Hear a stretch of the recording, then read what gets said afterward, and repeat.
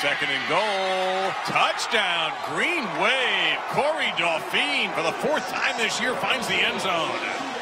And an onside kick is attempted, and it's looked like recovered by Memphis.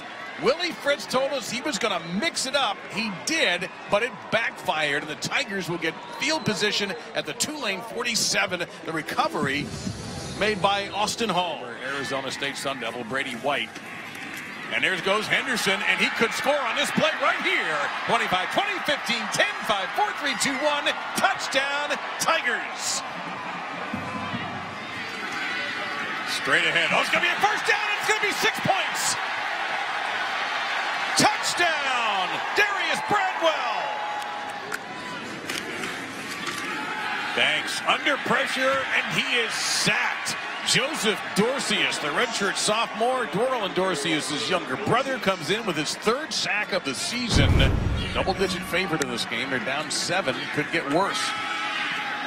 As Stephon Huddleston gets to the 15, gets to the 10, he gets to the 5. Big collision at the goal line.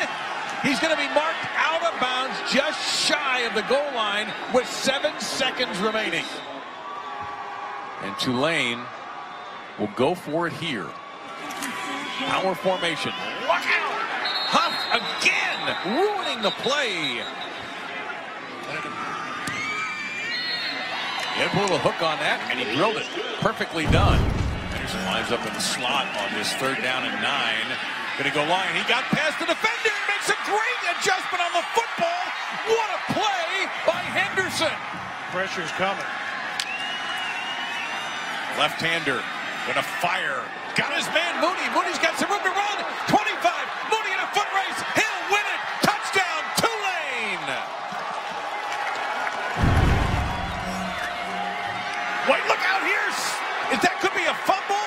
It is ruled a fumble on the field, and we are going to get a safety. And it will be Dauphine trying to get to the edge. Plays off a block. Dauphine, if he gets around the corner, he is really fast. 15, 10, forget about it. He's going to score.